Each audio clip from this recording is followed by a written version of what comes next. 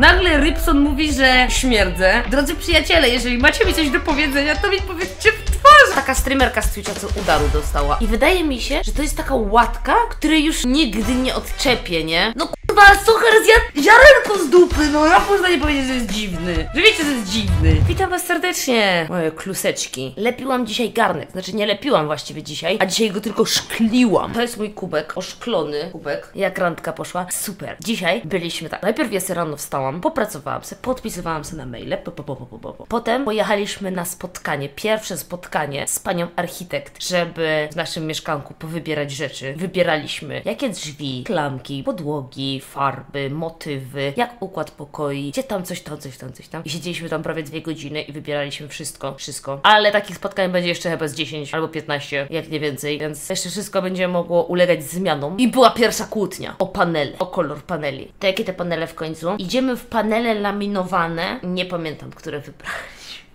Było tyle kolorów. Jakiś machoń? Nie wiem. Jakieś takie brązowe, no jak to panele. Co ja poradzę? No brązowe, brązowe, takie ciemno-brązowe wybraliśmy chyba. Nie panele fotowoltaiczne, tylko panele takie laminowane, które są wodoodporne do 72 godzin. I ja się zastanawiam, czy to jest jakiś bait, czy co, ale mam 72 godziny, żeby je, jak coś mi się wyleje, żeby to zetrzeć. Ogrzewanie podłogowe wszędzie, czy nie? Nie wiem, czy wszędzie. Zobaczymy. Tak, jak Emmet się zleje na podłodze, to mam 72 godziny, żeby to znaleźć. Dokładnie. Co Ci pomogło przestawić Twój rytm snu? Ładowałaś jakąś melatoninę czy coś, bo ja aktualnie w sesji jestem i nie śpię do 6 rano, potem wstaję o 15, fatalnie się czuję, a pamiętam, że mówiłaś, że miałeś taki sam problem. Na sam początek możesz spróbować zacząć, jeżeli chodzi o takie próbę radzenia sobie ze snem, to takie najprostsze metody. Czyli godzinę przed snem bierzesz ciepłą kąpiel, zaparzasz sobie i pijesz sobie melisę albo po prostu zieloną herbatę, potem kładziesz się do łóżka i próbujesz zasnąć. Jeżeli to nie pomoże, to zaczęłabym z, próbować z jakąś melatoniną yy, i jakieś tam takie rzeczy bardziej. Natomiast jeżeli to Ci nie pomoże już w żadnym stopniu, idź do lekarza i on Ci przepisze leki na sen, chociaż mi te leki na sen też jeszcze nie pomagały, bo mój stan był dużo, dużo bardziej skomplikowany. I godzinę przed tym, jak chcesz iść spać, nie korzystaj już z telefonu. W sensie odłóż telefon, nie patrz na niebieskie światło, próbuj nie rozpraszać się kolejnym TikTokiem, na pewno nie oglądaj do snu, wiesz, kolejnego TikToka i nie przerzucaj sobie tego.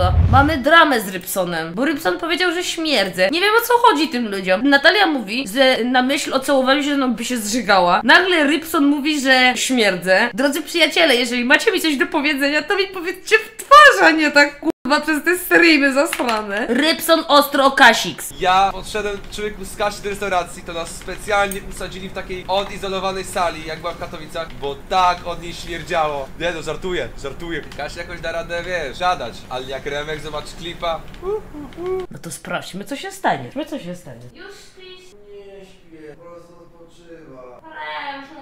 No nie śpię, to miałem drzemeczkę. Drzemkę, drzemkę. Spokojnie, Rybson. Remek nie zobaczy klipa, bo śpi znowu, więc masz farta. Wstałeś? Teraz to już za późno, bo już to będzie out of context, jak ci ten klip pokaże. Już nic. Ty nie spać. Mamy jakiś słodycz? Właśnie też bym coś opierdziłem. Mamy tą czekoladę z toffee z orzechem. Mi się przypomniało, my z Rybsonem też byliśmy raz w restauracji w Warszawie i też nas dali do innego miejscówki. Też nas właśnie dali tak do separowanego miejsca, bo w tym normalnym nie było udogodnień dla inwalidów. Musieli nas przesadzić.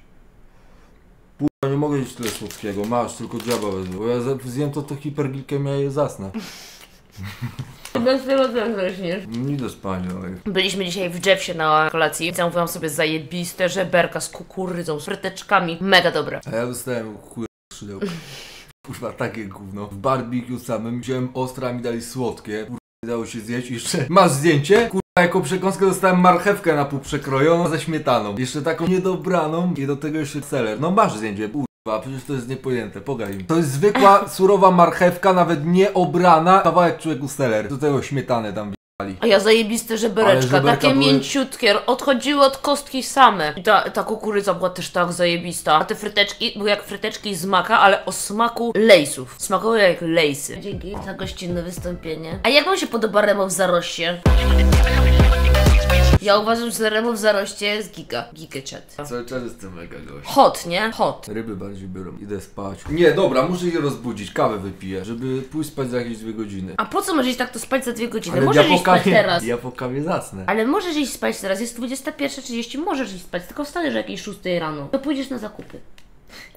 To jeszcze pożyję, nie? Ja nie mogę żyć, bo jak się rozżyję, to nie zasnę. No to nie rozżywaj się, tylko idź spać. Teraz jest akurat dobra pora już, żeby iść spać. A ja przed chwilą wstałem, coś bym zjadł może. Katerię masz w lodówce. Zaraz to przemyślę. Za garncarstwo płaciłam ja, za jedzonko płacił Remo. Więc pół na pół płaciliśmy. Co wyszło drożej? Garncarstwo dla jednej osoby, lekcja kosztowało 180 zł. I Remo ma taki garnek, a miska bardziej. Znaczy on na to mówi kubek, ale to mój. I on po wypieczeniu, bo to jest szkliwo takie, on po wypieczeniu będzie taki ciemny na zewnątrz, a w środku taki bielutki. Bo to się musi wypalić i ostygnąć. Rusiecki! Rusiecki! Rusiecki! Wstawaj! Nie, wstanie, wstanie, wstanie, na pewno wstanie. On na swoje przyrodzenie mówi Rusiecki?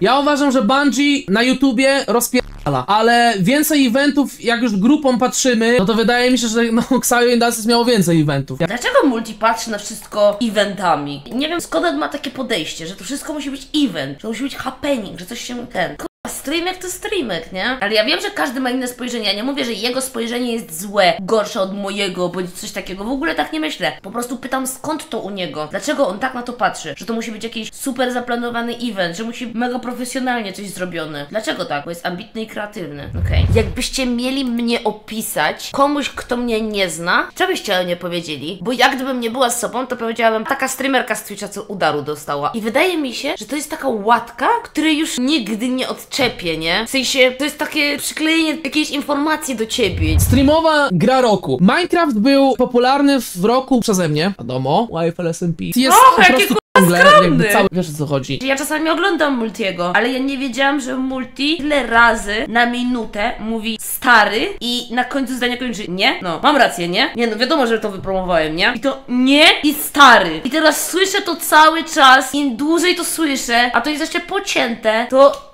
O, Na Rage Roku powinno też być twoje wyzywanie się z Ginoldem o Minecrafta. Ale kurwa dla kolegi, dzięki któremu kurwa, dzięki któremu kurwa co jeść, dzięki kurwa co jeść, to byś kurwa przyszedł. ja tego nie widziałam. Ty kurwa niewdzięczna, ty łysa kurwa niewdzięczna. No cóż, całkiem nieźle się zestarzało.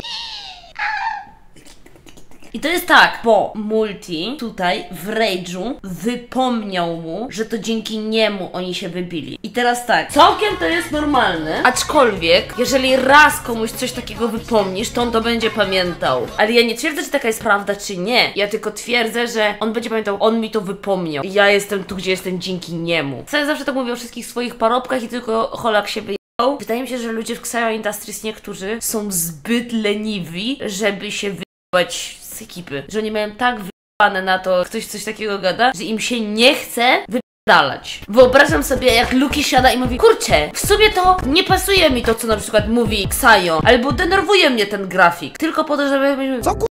Tam kurwa, nie chce mi się nic z tym robić. Idę się wpisać. Tak widzę ten proces myślowy, że nawet jak mu coś nie pasuje do serca, a on jak już tak będzie, dobra, nie, zostawiam, nie będę zmieniał. W tym Industries mam wrażenie, że tylko Suchar jest ogarnięty. Ja bym powiedziała, że w Xayo Industries Suchar jest najbardziej pracowitą osobą. Tak bym określiła. Że jest najlepiej zorganizowaną i najbardziej pracowitą osobą. Taki życiowy ogar, pomyślunek, dobre pomysły i ambicje ma Xayo. Chociaż życiowy ogar, przypomniałam sobie właśnie tą dramę z tą babą, na którą on się patrzył przez sen. Teraz to już nie wiem.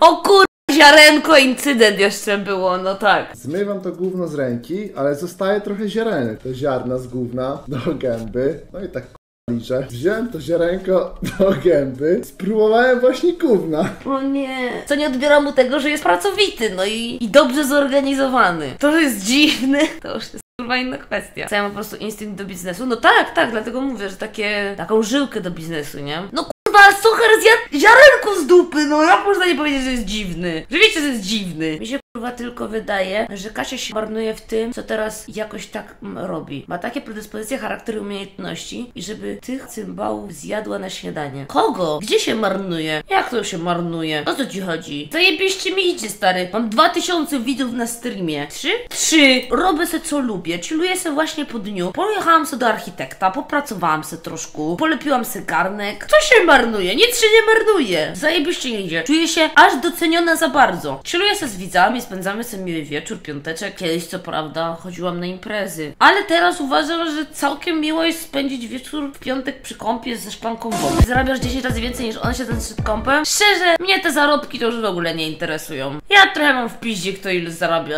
Zarabiajcie sobie ile chcecie. Jak już kupiłam sobie mieszkanie, to już mam takie ok. Teraz trzeba będzie myśleć, co robić z tymi pieniędzmi. Tak to wiedziałam, na co se zbieram. Jakiś taki mądry cytat usłyszałam na zgrzycie kiedyś. W sensie na podcaście zgrzyt, ale go nie pamiętam. Ale dotyczył właśnie pieniędzy. Ale go nie pamiętam, a był taki fajny, tak mi się spodobał. Czemu nie dom? Dom może kiedyś, ale na razie nie mam ambicji na dom. Wiesz, ile trzeba w domu sprzątać?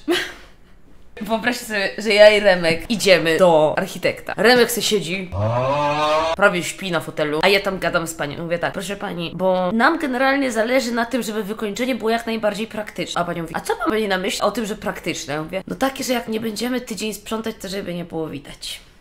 I babeczka nam pod to robi mieszkanie, żeby nie było widać, że jesteśmy syfiarzami. Naprawdę. Cały projekt będzie pod to robiony. Streamerka rok. Miley chyba dużo nie streamowała. Kasix ma chyba największy wpływ ze wszystkich kobiet z Twitcha, moim zdaniem. Mailin miała przecież przedłużone, ona ma więcej godzin ode mnie przestreamowane. Ale nikt jej nie ogląda. Nie no, Mailin ogląda dużo osób. Ja to zastanawiam się. To głosowanie w Złotych Antosiach. Wydaje mi się, że rywalizacja tutaj jest między mną a Nieuczesaną. Jeżeli ja wygram, to znaczy, że wygrywają liczby, a jeżeli wygra Nieuczesana, to znaczy, że wygra zaangażowanie, pracowitość, takie rzeczy. Wiecie o co chodzi? Nieuczesana jest zaangażowanie? No moim zdaniem Nieuczesana jest dużo bardziej zaangażowana w streaming niż ja. 365 dni przestreamowała, dzień w dzień. Jakby dla mnie to jest bo czasami masz zły dzień, po co masz streamować? Ale taki se challenge powzięła i taki zrealizowała. Głośno było o tobie w tym roku? No, to tak. Masz wyjebane? Mam. Ciekawie mnie tutaj wynik, jaki będzie. Co jest dla głosujących ludzi ważniejsze? To, że ktoś się stara, zapierdala, myśli o tym wszystkim, robi jakieś eventy, streamuje codziennie, wiecie, poświęca się temu. Czy wygrają jednak liczby? To, że ktoś ma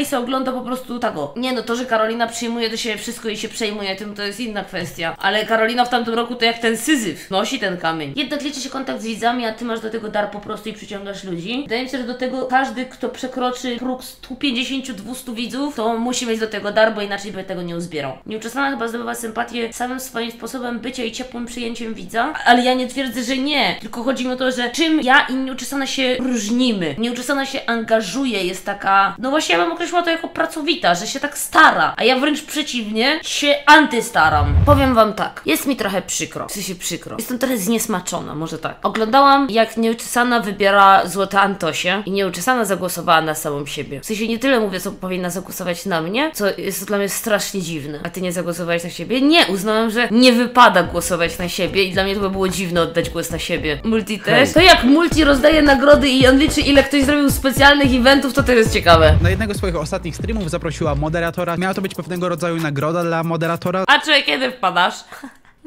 Będzie nagroda za pilnowanie czatu. Chcesz? Na streamie pojawiały się coraz dziwniejsze aktywności, czyli wąchanie brudnego prania, picie alkoholu z pępka. W sensie on nie był tam przykuty łańcuchami. W sensie, rozumiecie, że ktoś się poniża, śmieje się z ciebie i tak dalej, i tak dalej. Dlaczego on nie poszedł sobie stamtąd? Ja mam czasami konwencję wyzywania was, na przykład kosa albo rybcaka, ale no nie aż tak.